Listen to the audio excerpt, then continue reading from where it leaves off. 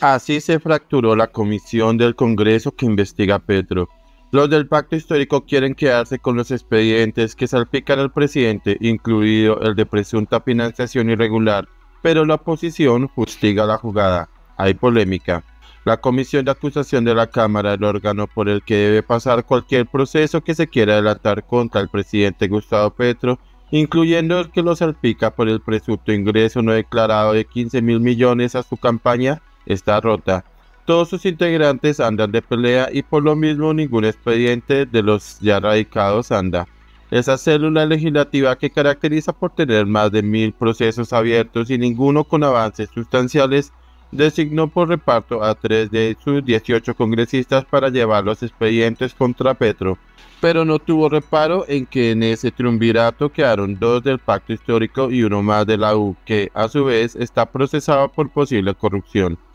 En efecto, las denuncias que buscan establecer si entró dinero de procedencia presuntamente ilícita a la campaña de Petro y si el mismo como posible beneficiario está enterado, una de ellas impulsada por el ex candidato Federico Gutiérrez, quedaron en manos de Alirio Uribe y Gloria Arizabaleta, del partido de Petro y Wilmer Carrillo procesado por un presunto desvío de cerca de 300 millones en norte de Santander. Y cada uno de ellos tiene su particularidad por lo que la comisión se dividió frente a su idoneidad para asumir los expedientes y en torno a si deben o no continuar con ellos. Por un lado, Uribe es un abogado que viene trabajando junto a Petro desde hace décadas. Además hizo parte del colectivo de abogados José Alvear Restrepo y por la férrea posición que juntos han hecho a todo aquel que se identifique con las tesis del expresidente Álvaro Uribe. Arizabaleta, por su parte, es una política bayuna que trabaja temas sociales y que fue hasta hace poco, además,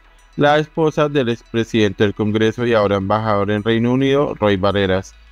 De hecho, aunque ambos en público lo niegan, entre el petrismo se dice que fue él quien la impulsó a ella para que se lanzara a la Cámara en las listas del pacto. Y Carrillo, por su parte, tiene una acusación formal de la Sala de Instrucción de la Corte Suprema de Justicia por cuenta de la liquidación de un contrato de obra por 258 millones en Norte de Santander cuando ofició como secretario de Infraestructura. El alto tribunal le imputó peculado por apropiación agravado a favor de terceros. Si bien la comisión no se ha reunido para analizar estas situaciones y ni siquiera para revisar las recusaciones que desde la oposición se radicaron quitarles a estos tres representantes los expedientes,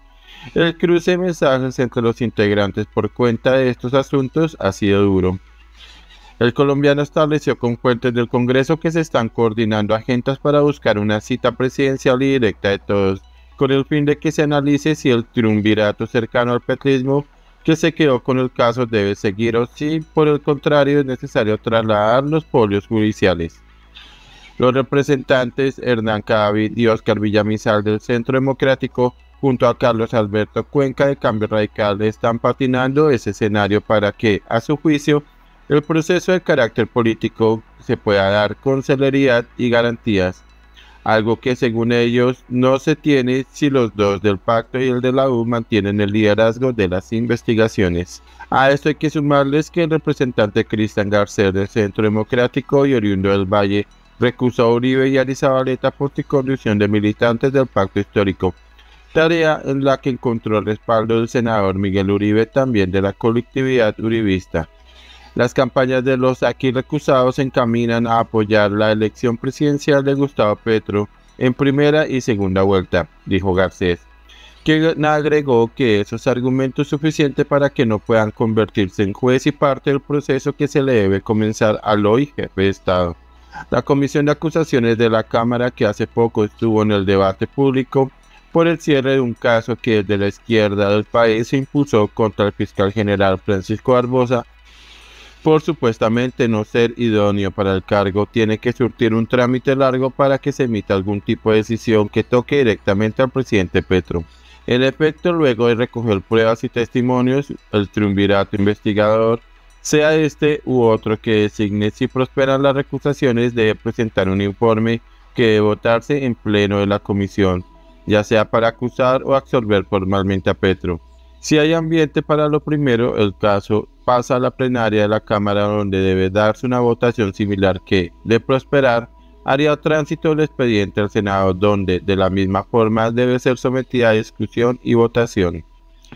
En el caso hipotético de que se avance hasta ese punto, algo que en la historia solo ha sucedido con el general Gustavo Rojas Pinilla en la década de los 70, se le quita el fuero presidencial al jefe de Estado, se le declara indigno político y debe afrontar una investigación penal en la Corte Suprema de Justicia. Este último paso es el que el propio Petro ha llamado el intento del golpe de Estado, porque si bien se mueve con fuerza y burocracia en el Congreso para que se avalen sus polémicas reformas, el Congreso no tiene mayorías aseguradas en el Capitolio y de ahí el susto de que un expediente en la Comisión de Acusación se le salga de las manos y termine votado en contra del presidente. Y es por eso precisamente que él se quiere comparar con el capturado Pedro Castillo del Perú, aunque allá fue ese personaje que quiso atentar contra la democracia cerrando el legislativo porque no era, le era fin a sus intereses. En todo caso, esta semana es clave para que esa comisión defina si se cambian o no a los investigadores y para que el pacto demuestre si puede controlar o no la única célula legislativa que tiene funciones judiciales y que por lo mismo tiene empapelado a Petro.